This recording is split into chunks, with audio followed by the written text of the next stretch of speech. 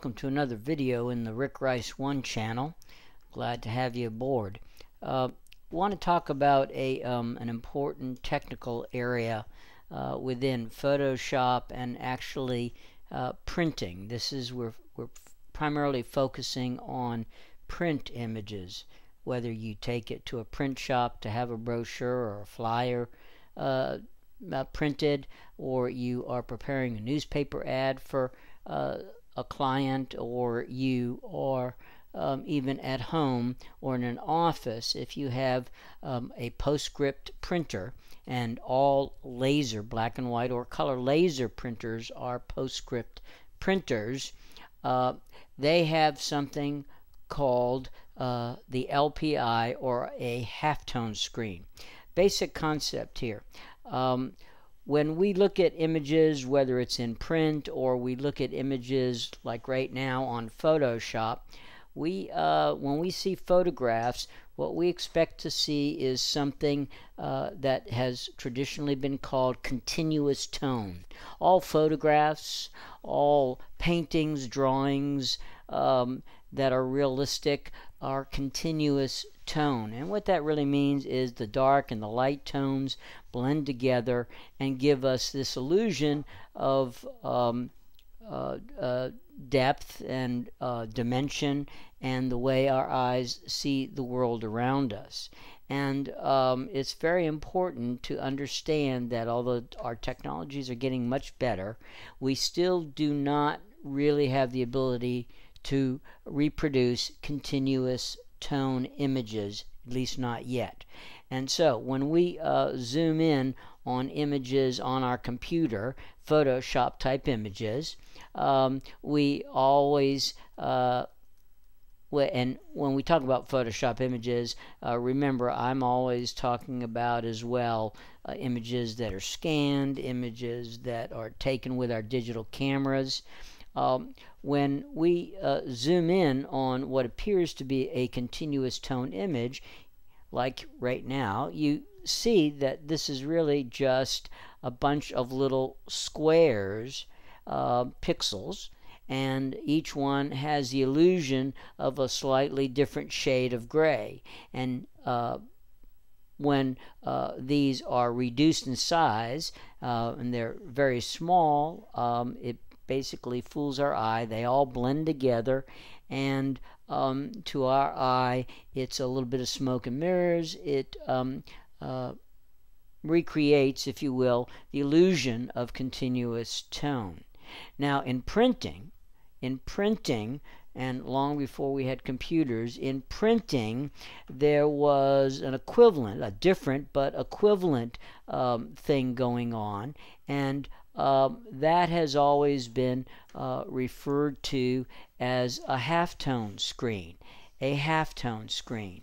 And um, a halftone screen is how in printing we get this illusion of uh, tonality. And again, in printing, long before the computers, it was also an illusion of smoke and mirrors. Uh, this little image, as you can see, appears to be uh, a photograph. Um, but again, when we start to zoom in on this image, what we really see are um, uh, circles or um, large um, dots. And um, these are called halftone cells. And big ones close together give us the illusion of a dark area and smaller ones further apart give us the illusion of a light area and then um, like the pixels on our um, computer images um, uh, the halftone cells, because they're generally pretty small and we can't see them very well with our eyes, our eyes blend it all together and um, it looks like a continuous tone image in print.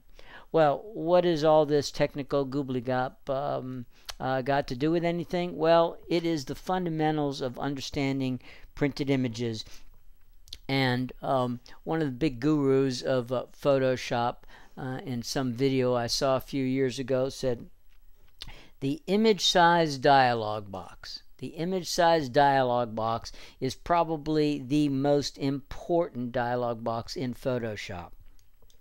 And um, this is where we talk about and look at and can um, um, mess with the physical size of an image and the um, resolution of an image. And what's important here is, uh, and I'm going to keep it kind of simple, but um, when printing devices um, go to uh, make the halftone cells that allow images in print to look uh, good and, and look uh, natural, um, there has to be um, enough pixels per inch information, the little square pixels per inch, uh, so that the printing device can in fact um, uh, convert it all, rasterize it, and convert it all to halftone cells that will in print give us the illusion uh, that the image looks good and is crisp and clean. And uh, so the bottom line here is the basic concept, and many graphic designers, art directors, printing people, amazingly, have never really learned uh, some of this stuff, and honestly, um, uh, really um, aren't able to articulate it very well. Uh, most uh, good working graphic designers understand that the right amount of pixels per inch, which is this right here, um, is uh, what you need is one and a half to two times the halftone screen. In today's vernacular, it's called the LPI. The LPI, those are those halftone cells. The old term was halftone cells. The new term is lines per inch, lines per inch. And uh, you need one and a half to two times the LPI, the lines per inch, of pixels resolution if your image is going to look good in print.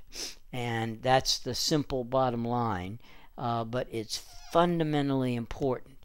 And uh, another aspect that gets um, uh, messed with um, in Photoshop and again in digital images is when we change the size of our Photoshop images in Photoshop or if we let's say place it in InDesign or even Illustrator and then uh, drag the corner and make it bigger or smaller we're changing the size of it. That changes the resolution because the pixels per inch is set and when you make the image bigger you're spreading out that bunch of pixels, and uh, so there's less of them in um, a sample square inch area.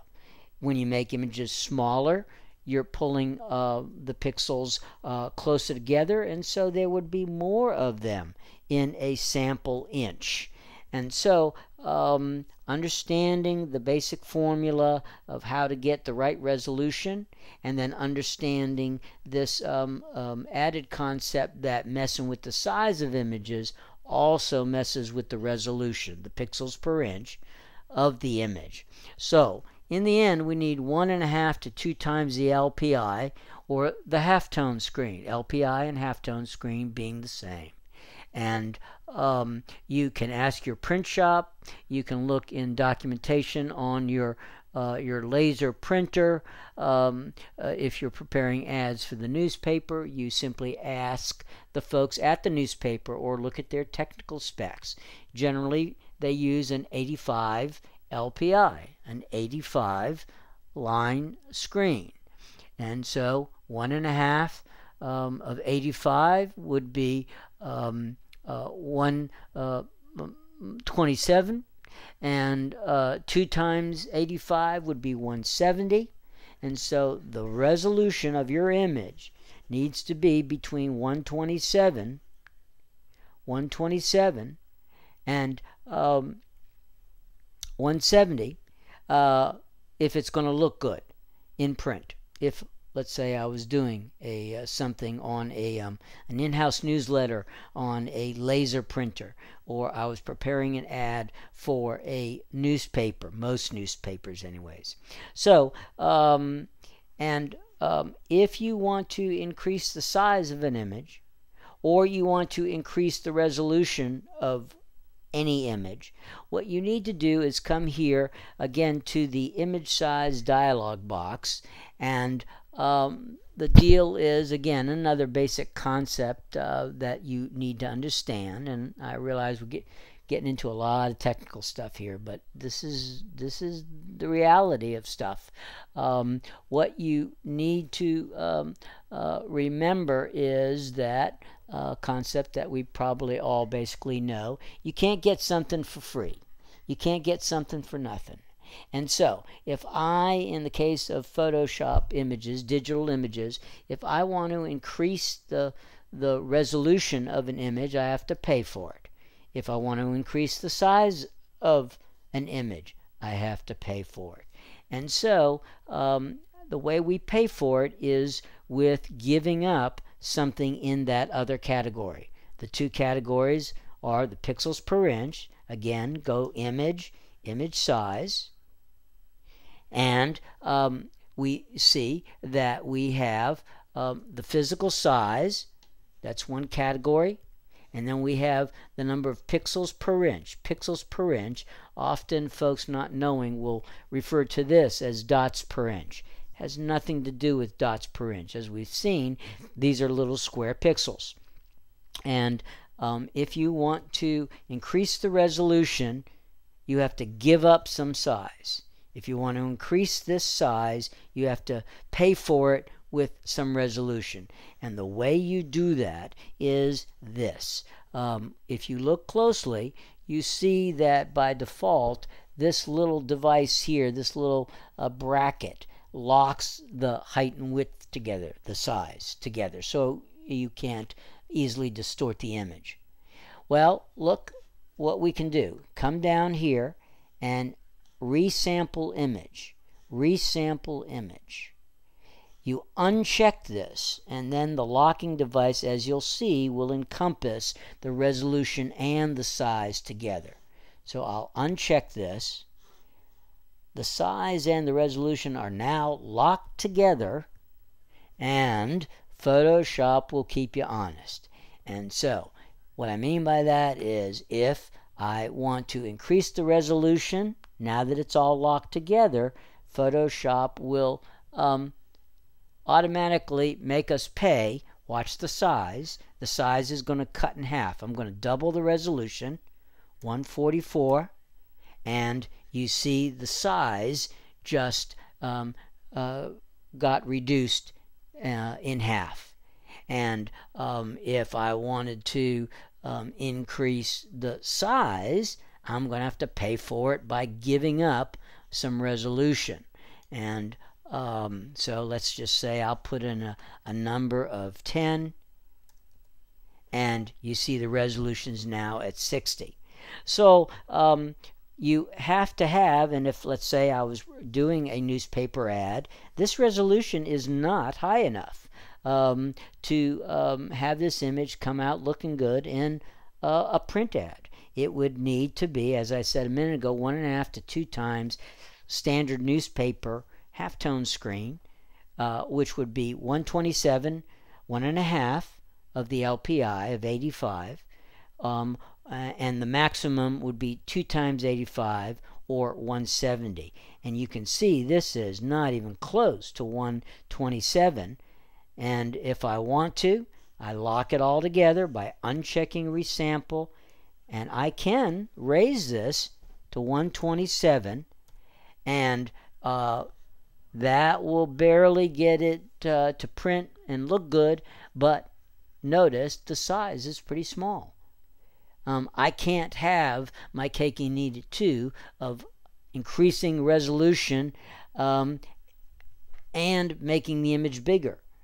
Um, I have to pay for the size with resolution, or I have to pay for resolution with size. And as long as you come here and uh, uncheck this, Photoshop will do this size resolution business for you and then all you need to do is ask your print shop or your newspaper what LPI they use, what halftone screen do they use, and uh, multiply that by one and a half to two times. More than two times will not make it better, it just makes the files bigger. But what is really dangerous is if it's too low.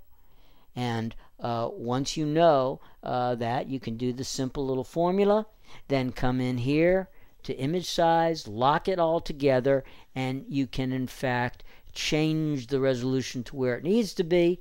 But understand that whatever size it then says the image is, that is the size of the image. You can always make it smaller, but you can't increase the size um, or the resolution without paying for it in the other category. So, very uh, technical, I realize, but it's the fundamentals of print. And if you can get your head around this, then um, you are in good shape because, as I've said, many, many professionals, well meaning, don't understand this. And um, they'll just give you some general idea of what the resolution should be. But this is all professionals all around the world who know what they're doing. Um, this is what it's about one and a half to two times the halftone screen and realize that even once it's set if you mess with the size that's going to either increase uh, the resolution if you make it smaller or decrease the resolution if you make it bigger. But uncheck resample and then you can play with the size and the res and um, this will keep you honest. And it will happen even if you don't uncheck this and you think you're going to ignore this. Um, trust me it it uh, won't happen and, um, and then when it's in print and it looks terrible then it's too late to do anything about it remember here in um, our computers. Um, our computers are low resolution devices, and so we won't see imperfections uh, many times here on the screen. Um, but in print, when you're on deadline, it's too late. It's not much you can do. All right. Well, thanks a lot for tuning in, and I'm going to uh, uh, keep on working on some new ones for Illustrator and Photoshop. So um, I hope you'll uh, stay tuned. And I also intend to uh, start a new group of some PowerPoints uh, that I have for lectures, one of them being on this very subject, and um, uh, some other design considerations. I'll uh, get those loaded into a playlist before long, so keep an eye out for those uh, uh, PowerPoints. Um, uh, with audio, as well as the continuation and expansion of the video library from the Rick Rice One channel. Thanks. Have a great day.